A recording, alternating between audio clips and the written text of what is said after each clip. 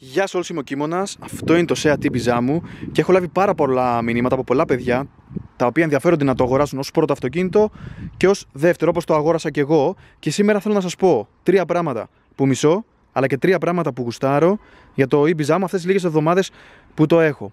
Οπότε πάμε να ξεκινήσουμε. Το πρώτο πράγμα το οποίο με ενοχλεί στο αυτοκίνητο και δεν μου αρέσει καθόλου είναι ότι το αυτοκίνητο είναι αθόρυβο. Και τι εννοώ αθόρυβο, δεν ακούγεται καθόλου. Η εξάσμηση δεν την ακούς ποτέ, είναι σαν να μην υπάρχει και ο μόνος θόρυβος που ακούς είναι από τον κινητήρα στις πολύ υψηλές τροφέ. Θα πρέπει να έχεις φτάσει σίγουρα πάνω από τις 5 για να το ακούσεις. Και γιατί αυτό είναι πρόβλημα, είναι το εξής. Κινείσαι κανονικά στο δρόμο και υπάρχει πεζός στο δρόμο, ο οποίος έχει την πλάτη προς τα εσένα και περπατάει θα πρέπει να φτάσεις. Δεν μπορεί να σε αντιληφθεί, διότι το αυτοκίνητο δεν κάνει θόρυβο. Θα πρέπει να φτάσεις σχεδόν στο ένα μέτρο από εκεί πέρα που βρίσκεται και να πατήσεις την κόρνα προκειμένου να σε αντιληφθεί ο πεζός. Ή κάποιος άλλος πεζός θέλει να περάσει το πεζοδρόμιο και επειδή δεν ακούγεται το αυτοκίνητο καθόλου, δεν κοιτάει καν προς την πλευρά, οπότε είναι έτοιμος να περάσει. Και αυτό κατά κάποιο τρόπο νομίζω πως όλοι σαν πεζοί έτσι αντιδρούμε. Δηλαδή, Αντιλαμβανόμαστε σίγουρα τα αυτοκίνητα τις περισσότερες φορές και από τον ήχο, όχι μόνο το να γυρίσουμε το κεφάλι μας. Οπότε το αυτοκίνητο πραγματικά δεν το ακούς, δεν ακούγεται καθόλου και γιατί και θα σας πω και, το, και θα σας το δείξω κιόλας να το ακούσετε. Και όχι μόνο αυτό. Ακόμα και όταν είναι στο ρελαντί το αυτοκίνητο νομίζεις ότι σου έχει σβήσει, ότι δεν είναι σε λειτουργία ο κινητήρας. Και ειδικά στην αρχή που το είχα πάρει ακούστε μέσα στο ρελαντί. Δεν ακούγεται τίποτα, ενώ είναι το αυτοκίνητο το έχεις βάλει μπρος. Και ειδικά στην αρχή που το είχα πάρει, νόμιζες ότι σου είχες σβήσει. Και πάμε να ακούσουμε λίγο και έξω έτσι το ρελαντί όπως είναι, δεν ακούγεται τίποτα. Δηλαδή. Τώρα είναι στο ρελαντί άμαξ, έτσι. Πρέπει να φτάσω πολύ κοντά. Α, στην εξάτμιση. Δεν ακούγεται τίποτα. Τώρα το αυτοκίνητο στο ρελαντί δεν ξέρω αν ακούγεται τίποτα. Νομίζω ότι είναι ότι δεν ακούγεται πραγματικά τίποτα. Και σίγουρα για κάποιον από εσάς που θέλει να το αγοράσει το αυτοκίνητο, θα πρέπει να πάρει να βάλει μια εξάρτηση αν θέλει να ακούει λίγο καλύτερα, διότι δεν ακούγεται καθόλου το αυτοκίνητο. Αυτό είναι έτσι το πρώτο αρνητικό που δεν μου αρέσει καθόλου στο Seat Ibiza. Το δεύτερο πράγμα που με ενοχλεί στο αυτοκίνητο έχει να κάνει εδώ με τους αεραγωγούς. Και τι εννοώ, αν βάλεις μπροστά το αυτοκίνητο μετά από 5 λεπτά λειτουργίας, αρχίζει να έρχεται από τη μηχανή, από τους αεραγωγούς, πάρα πολύ ζέστη. Παρόλο που δεν έχεις ανοίξει καθόλου τη θέρμανση. Πάρα πολύ ζέστη σε τέτοιο βαθμό που αν πηγαίνεις πάνω από 60 χιλιόμετρα είναι λες και το έχεις βάλει στο 2, ενώ στην ουσία είναι κλειστό.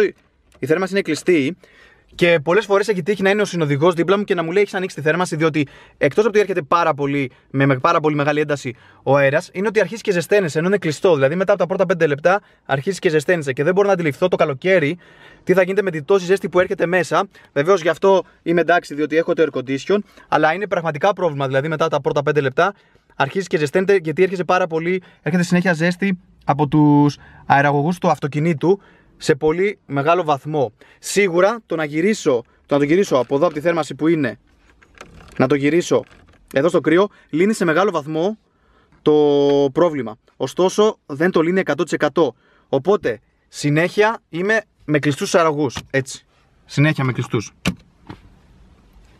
Διότι η ζέστη που έρχεται είναι πάρα πολύ μεγάλη από του αραγωγού και σε πολύ ένταση. Όπως σκέψου κοντά στα 100 χιλιόμετρα να πας με το αυτοκίνητο, είναι λες και το έχεις στην ένταση στο 3. Δηλαδή έρχεται εκτός από τη ζέστη που έρχεται, έρχεται κατά κύμα. Και πάντα ο συναδοχό θα σου πει ότι μήπως το έχεις ανοιχτό, διότι έρχεται πολύς πολύς αέρας. Οπότε, όπως είπα, είμαι συνέχεια έτσι με ξούς αεραγωγούς. Τρίτο πράγμα το οποίο έτσι με ενοχλεί στο αυτοκίνητο είναι ότι το αυτοκίνητο δεν έχει καθόλου ποτηροθήκη. Και μην βλέπεις αυτή εδώ, αυτή την έχω βάλει εγώ, την οποία την έχω παρουσιάσει, οπότε μπες στο κανάλι μου να τη δεις. Το αυτοκίνητο δεν έχει καθόλου ποτηροθήκη. Όχι μία, ούτε δύο. Καθόλου ποτηροθήκη. Και είναι κάτι το οποίο όσο και να το κάνουμε, μου χρειάζεται κάποιες φορές. Το θέμα εδώ ποιο είναι ότι γενικότερα το Seat Ibiza αυτής της γενιάς βγαίνει με ποτηροθήκη, την οποία την έχει εδώ. Πατάς αυτό εδώ πέρα και βγαίνει ποτηροθήκη εδώ. Το δικό μου όμως δεν έχει καθόλου ποτηροθήκη. Δεν ξέρω σε αυτό τι οφείλεται, ίσως επειδή είναι πολύ basic σαν έκδοση και το έχει η επόμενη έκδοση μπορεί. Οπότε δεν έχει καθόλου ποτηροθήκη. Πραγματικά το βρίσκω λίγο ενοχλητικό, διότι όλα τα αυτοκίνητα έχουν τουλάχιστον μία, αν όχι δύο. Έχω λύσει βέβαια εδώ το πρόβλημά μου με αυτή εδώ την ποτηροθήκη, την οποία όπως σας είπα την έχω παρουσιάσει στο κανάλι.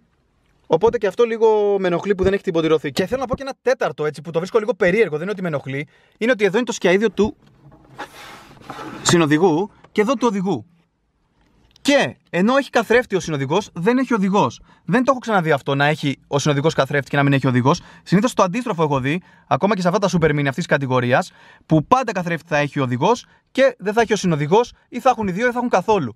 Το ότι έχει μόνο ο συνοδηγός καθρέφτη και δεν έχει οδηγός μου φαίνεται λίγο περίεργο. Δεν το έχω ξαναδεί σε αυτοκίνητο. Όχι ότι είναι κάτι που το χρησιμοποιώ, απλά μου φαίνεται λίγο περίεργο που δεν έχουν βάλει καθόλου στον οδηγό, ενώ ο συνοδηγός έχει κανονικά τον καθρέφτη. Δεν το έχω ξαναδείς σε άλλο αυτοκίνητο αυτό. Λοιπόν, το πρώτο πράγμα που μου αρέσει στο αυτοκίνητο έχει να κάνει με το σχεδιασμό του. Μου αρέσει πάρα πάρα πολύ. Μην ξεχνάμε ότι σε 2 με 3 χρόνια αυτό το design, το σχέδιο θα κλείσει σχεδόν 20 ετία και μην ξεχνάμε ότι είναι ένα από τα πιο οικονομικά μοντέλα. Οπότε το σχέδιο του νομίζω πως έχει γεράσει καλά. Φυσικά δεν το συγκρίνω με κανένα μεταγενέστερο μοντέλο, ούτε με τα καινούρια έτσι, του 2019. Παρ' όλα αυτά, νομίζω με τον τότε ανταγωνισμό έχει γεράσει πιο καλά. Τότε ανταγωνισμός ήταν το Ford Fiesta και το Opel Corsa και νομίζω πως δείχνει πολύ πιο ωραίο μέσα στην πάροδο του χρόνου. Καθώς η Seat φημίζεται για τα πιο σπορ έτσι, σχεδια, σχεδιασμό πιο σπορ που έχει. Μου αρέσει δηλαδή πάρα πάρα πολύ σχεδιαστικά. Ε, όπως κάνει εδώ πέρα μπροστά το καπό αυτό εδώ νομίζω είναι πολύ ωραίο σαν σχέδιο. Νομίζω πως έχει γεράσει καλύτερα από κάθε άλλο εκείνης βέβαια της εποχής. Όπως είπα, δεν το συγκρίνω με κανένα σύγχρονο μοντέλο. Δεν θα πω ότι είναι καλύτερο. Μην ξεχνάμε ότι είναι ένα από τα οικονομικότερα τότε μοντέλα της εποχής. Παρ' όλα αυτά, το design νομίζω έχει γεράσει πάρα πολύ ωραία και μου αρέσει σίγουρα αρκετά πάρα πολύ σε σχέση με το πώς έχει γεράσει. Μην ξεχνάμε, όπως είπαμε, ότι είναι σχεδόν 20 ετία στο design αυτό και νομίζω κρατάει σχετικά καλά σε σχέση πάντα με τον τότε ανταγωνισμό. Το λέω πάλι, μην γίνει κάποια παρεξήγηση. Νομίζω ε, μου αρέσει αρκετά πάρα πολύ.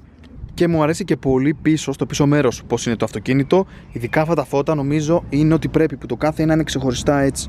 Είναι πολύ ωραία. Σαν design μου αρέσει πάρα πολύ τα φώτα που έχει στο πίσω μέρος. Το δεύτερο πράγμα το οποίο μου αρέσει σχετικά με το αυτοκίνητο και το γουστάρω έχει να κάνει με την οδήγηση του αυτοκίνητου. Και τι εννοώ, αγοράζοντας εγώ ένα τέτοιο αυτοκίνητο σχεδόν 15 ετία, Super Mini, από τα πιο οικονομικά της τότε εποχής, πίστευα ότι στην καθημερινή οδήγηση, όπως και να το κάνουμε λίγο, θα με κουράζει.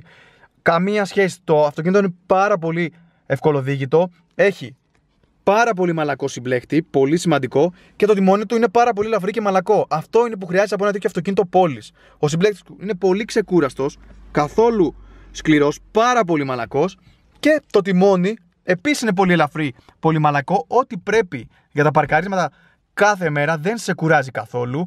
Το αυτοκίνητο είναι τόσο ευκολοδίγητο, τόσο εύκολο που πραγματικά ακόμα και μια απόσταση 300 μέτρων μπορεί να σκεφτώ να πάω με το αυτοκίνητο. Και αν δεν ήταν χειροκίνητο κυβότιο ταχυτήτων και ήταν αυτόματο, θα με έπαιρνε και στο, στο τιμόνι. Αυτό το λέω σαν παράδειγμα πόσο εύκολο στη χρήση, πόσο απλό, πόσο δεν σε παιδεύει. Διότι έχω δικήσει και άλλα αυτοκίνητα αυτής της χρονολογίας και λίγο μεταγενέστερα, τα οποία όπως και να το κάνουμε, λίγο σε κουράζουν μετά από κάποια ώρα οδήγηση.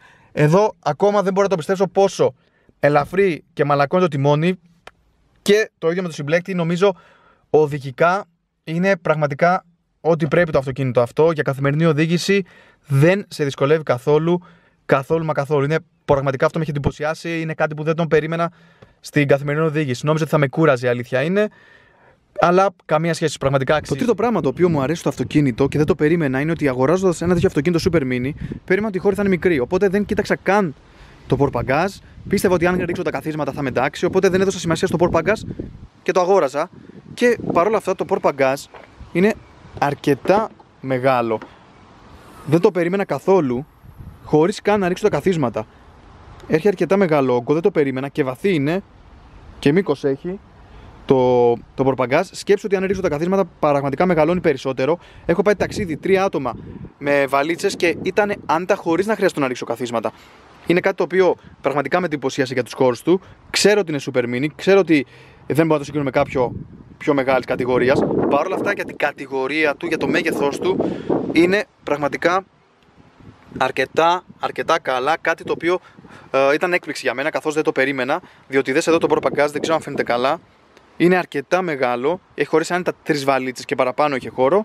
Και σίγουρα αν ρίξω τα καθίσματα είναι σαφές καλύτερα και έχει χώρους. Κάτι που δεν το περίμενα ε, για τους χώρους των αποσκευών και τους χώρους γενικότερα του αυτοκίνητου. Αυτά είναι τα τρία πράγματα που μου αρέσουν και τα τρία πράγματα που δεν μου αρέσουν στο αυτοκίνητο αυτές τις λίγες εβδομάδες τις οποίες το έχω στην κατοχή μου. Κάνε μια εγγραφή στο κανάλι, έρχονται πολλά νέα βίντεο, νέες παρουσιάσεις, how to, χρήσιμες συμβουλές για το αυτοκίνητό σου, χρήσιμα αξεσουάρ και gadget για το αυτοκίνητο. Μπες να δεις ήδη τα βίντεο τα οποία έχω και βεβαίως να σου ευχαριστώ που είδες το βίντεο αυτό.